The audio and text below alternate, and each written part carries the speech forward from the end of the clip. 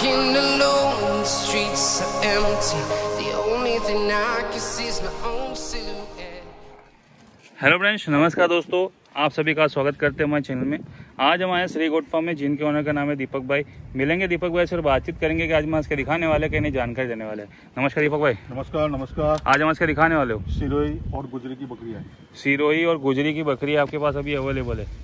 अच्छा तो ये दो ही ब्रीड आपके पास अभी इसके अंदर अवेलेबल है? अवेलेबल अच्छा तो अपन जैसे पिछला वीडियो बताया आपने बताया पचास नंग का लॉट अवेलेबल है उसकी नहीं ये बीस पीस नंग है अच्छा तो जैसे कि अगर ये बात बताइए कि ये बकरिया है इसमें काफ़ी लंबी चौड़ी फ्रेम की बकरिया है। हाँ। तो इसको शायद इसलिए आपने अलग करके रखा है? नहीं नहीं लंबे ऐसा नहीं है। उसके अंदर पूरा स्पॉटेड है ना सब। अच्छा सारे स्पॉटेड है और मैं लंबी काफ़ी हाइट भी काफ़ी उससे भी काफ़ी लंबी हाइट है। तो अगर ये इस टाइप की बकरियाँ होती है तो ये कितने वज़न की बकरियाँ होती है? और आप जानकारी ये सत्तर की अस्सी किलो के बीच में लोट है। अच्छा सत्तर टोटल बताया ना आपको पैंसठ सत्तर किलो पुराने वीडियो में। तो मान लीजिए अगर पूरा ऐसा लोड बनाता है कोई सत्तर से अस्सी किलो वाला ये हम्म। तो ये कितने तक आप दे देंगे उन्नीस हज़ार। उन्नीस हज़ार तक की में लॉट आ जाएगा ये। तो आपके पास ये जो जितनी बकरियाँ रहती है आपके पास जो बच्चे रहते हैं तो आप कहाँ से लाते हैं इसको? ये जंगल से आता है। अच्छा किसान जो पालते हैं ना। अच्छा। तो ये जंगल से खरीदी होती पूरी। हाँ। अच्छा।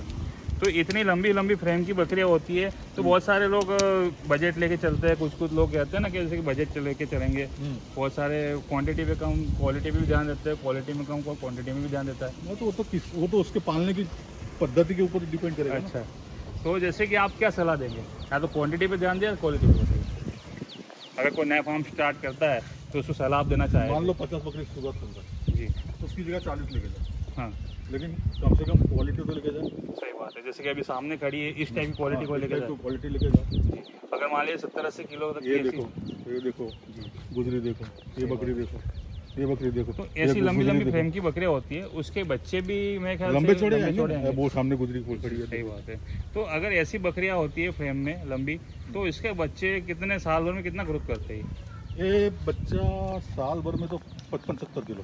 पचपन सत्तर किलो। फिर अच्छा। आपकी खाने पिलाने के पे आधार रहता है। हम्म, हम्म, हम्म। सही बात है। अभी बकरी का बच्चा अभी अभी ये बकरी एक से कलर भी यूनिक यूनिक है हाँ, साथ ये दोनों बकरी के फ़र्स्ट कलर है। ये बकरी का बच्चा कम से कम पैदा होते ही पाँच किलो का होगा। सही बात है। ये इसका कलर भी यूनिक है हाँ। और शाइनिंग थिकनेस भी पचपन सत्तर किलो अपन बोलते कि भी जाएगा। सही बात लेकिन आपकी खिलाई पिलाई अच्छी रहेगी तो अस्सी नब्बे भी जा सकता है। सही बात हमने अदन बच्चे एक सौ दो दो एक सौ दस किलो एक सौ दो दो किलो के बच्चे बेचे तो जैसे बारिश का मौसम रहता है बारिश के मौसम में अधिकतर लोग पलाई करते हैं। अभी नया फार्म स्टार्ट करने की नया किसान को तकलीफ़ आती है। अच्छा। ये हमारे तो एक भी बकरे की शाइनिंग कम है। सही बात है बिल्कुल वही इसलिए पूछना चाह रहा हूँ कि कोई नया फार्म स्टार्ट करने का सोच रहा है अभी। हाँ। तो अपने कर सकता है उसको। मेरी बात सुनो वो एक एक साल के लिए तो नहीं पाल रहा है। सही बात है। अगले साल भी बारिश तो आने वाली है ना उसके हम्म। खेत में तो। बिल्कुल सही बात है। तो जैसे कि अगले साल भी बारिश आने वाली है अगले साल भी पलाई करेगा आदमी। तो अभी तो जैसे बारिश में शुरुआत कर रहा है तो बारिश में क्या क्या प्रॉब्लम आती है इसमें? वो प्रॉब्लम खाली बकरी को भिगवाना नहीं है। अच्छा बकरी भीगनी नहीं चाहिए। भीगनी नहीं चाहिए और रात को उसको बंद कमरे में रखी अच्छी तरह। अच्छा। हीटिंग वाले कमरे में। अच्छा। थोड़ी हीट मला रहे। यानी कि थोड़ी हीट मिलती रहे बकरी भी तंदुरुस्त रहेगी। देखो हमारा पैक कमरा है ना? जी। पैक कमरे तो ये जो पैक कमरा है इसके अंदर कितनी बकरी आ जाएगी आपके पास? ये बकरियाँ कम से कम हमारे फार्म के अंदर तो आ जाएगी कम से कम डेढ़ सौ दो सौ बकरी आ जाती है। अच्छा ये पैक कमरे में हाँ? अच्छा चलो बहुत अच्छी बात है। तो जैसे कि अगर ये फ़ार्मिंग स्टार्ट करता है कोई नया किसान है जो या तो नए यूथ अभी आजकल जनरेशन देख देख के अभी यूट्यूब में देख देख के आपसे शुरुआत करना चाहती है तो आगे बढ़ना चाहती है तो उसके लिए आप पूरा गाइडेंस देते हैं? हाँ देते हैं ना। अच्छा। कंप्लीट पूरी गाइडेंस मिल जाती है दवाई का नॉलेज मिल जाता है सब कुछ सब ए टू जेड नॉलेज मिल जाएगा उसमें। अच्छा अच्छा। तो जैसे कि जानकारी देने के बाद भी अधिकतर बहुत सारी चीज़ों का सामना भी करना पड़ता है बहुत सारी प्रॉब्लम फेस करनी पड़ जाती है। हाँ करता है ना मेरी बात सुनो। एक कोई भी नया बिज़नेस करता है। जी। कोई भी नई चीज़ यानी बकरे लाइन की बात नहीं कर रहा हूँ। जो क्रिएटर होता है ना हम्म। जो कुछ पैदा करना चाहता है हम्म वो कभी शिकायत नहीं करेगा। सही बात है। और शिकायत करेगा ना वो कभी पैदा नहीं कर पाएगा। सही बात है। जो क्रिएटर होता है वो कभी शिकायत नहीं करता है बात सही है।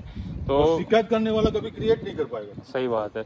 अगर बात बात कंप्लेन करेगा तो कभी क्रिएट नहीं कर पाएगा वो आगे कुछ नहीं कर पाएगा। सही बात है। तो जैसे आपकी शुरुआत जैसे इस बकरे लाइन में हुई बकरी लाइन में आपका खानदानी बिज़नेस तो है नहीं है? हमारा खानदानी बिज़नेस हमारा किराना का बिज़नेस अच्छा किराने खानदानी बिज़नेस है। तो जैसे कि आपका खानदानी बिज़नेस तो है नहीं तो आपको इसमें लाइन में कहाँ- कैसे और कब मिल गई और आपको ये इतनी जल्दी सफलता सफलता जल्दी तो नहीं मिली। अच्छा। मिलते मिलते आठ साल हो गए। अच्छा आठ साल से आप लगे हो इस हाँ, फ़ील्ड तो में। सही बात है। तो इस एक, एक चीज़ होती है कि कोई बिज़नेस करना चाहते हो तो आपको तीन साल खुद को देना पड़ता है। अच्छा अच्छा। तीन साल का पैशन हो तो बिज़नेस में आओ। जी। तीन साल नहीं दे पा रहे हो तो आप बिज़नेस कर ही नहीं पाओगे। सही बात है। तो आपके अंदर अंदर नहीं तो आप बिज़नेस छोड़ते रहोगे। अभी बकरी पालन का करा है। उसमें एक साल में मज़ा नहीं आ रहा है तो दूसरी बार बिट्टी पालन का करोगे। बिट्टी पालन में मज़ा नहीं आ रहा तीसरा तीसरा मोबाइल का करोगे। सही बात है। तो कुछ ना कुछ करते रह जाओगे। तीन साल अगर आप सब्र दे सकते हैं तो काम हो सकता है। उसके बाद पप्पा बन जाओगे। सही बात है। तो आपको भी इतना नॉलेज आठ साल में होने के बाद भी आपके पास भी मोर्टेलिटी तो आती आती है ना? बकरी- तो कितनी परसेंट आपके पास बकरी मोर्टेलिटी आती है? जो हमारे पहले साल किया था हम्म। उसके अंदर mortality thirty five thirty five percent थी। पैंतीस परसेंट शुरुआत पैंतीस परसेंट और अब- अभी? अब दो परसेंट भी नहीं आती दो परसेंट पे होगी सब। हाँ। मतलब कि और जैसे जैसे आप आगे बढ़ते जाएँगे वैसे तो थोड़ी बहुत कम- कम, कम होती जाएगी मोर्टेलिटी और मोर्टालिटी अब मरना जीना तो अपने हाथ में है नहीं। हाँ सही बात है। वो तो कुदरती चीज़ है कुदरती पे ही हाथ में है हाँ। बकरियों के तो। बाकी अगर बात करते जैसे कोई नया फार्म स्टार्ट करता है तो आपको पूरा गाइडेंस भी देंगे? गाइडेंस मिल जाएगा। और आपका एड्रेस बता दीजिए किसी भाई को अगर माल लेने आना है तो आपके पास कहाँ पर आए और कैसे कॉन्टेक्ट हमारा करें? फार्म अजमेर राजस्थान में है। जी। शिखर रोड पे है। जनान हॉस्पिटल से दो किलोमीटर दूरी पे। है। और रेलवे स्टेशन से बारह या चौदह किलोमीटर दूरी पे अच्छा किस नाम से? Shri goat farm Shri goat farm से। चलिए बहुत अच्छी बात है। तो ये थी बहुत अच्छी जानकारी श्री गोट फार्म के ऑनर के बारे में दीपक भाई के बारे में। तो ऐसी जानकारी पाने के लिए हमारे चैनल को सब्सक्राइब करें बेल आइकन ज़रूर दबा दीजिए ताकि आप तक जानकारी से हम लाते रहेंगे आप तक पहुंचाते रहेंगे। तो बात करते हैं इनके पास ट्रांसपोर्ट की। सर आपके पास ट्रांसपोर्ट की फैसिलिटी कितने टाइम तक में अवेलेबल हो जाती है और कहाँ कहाँ हो जाती है? ऑल इंडिया ट्रांसपोर्ट अवेलेबल है।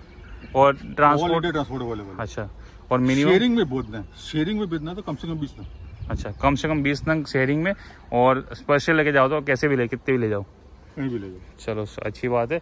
ये थी कुछ जानकारी श्री गोट फार्म के ऑनर के बारे में तो ऐसी जानकारी पाने के लिए हमारे चैनल को सब्सक्राइब करें बेल आइकन ज़रूर दबा दीजिए ताकि आपने जानकारी से हम लाते रहेंगे और आप तक पहुंचाते रहेंगे। मिलते हैं अपन अगले वीडियो में। Thanks for watching bye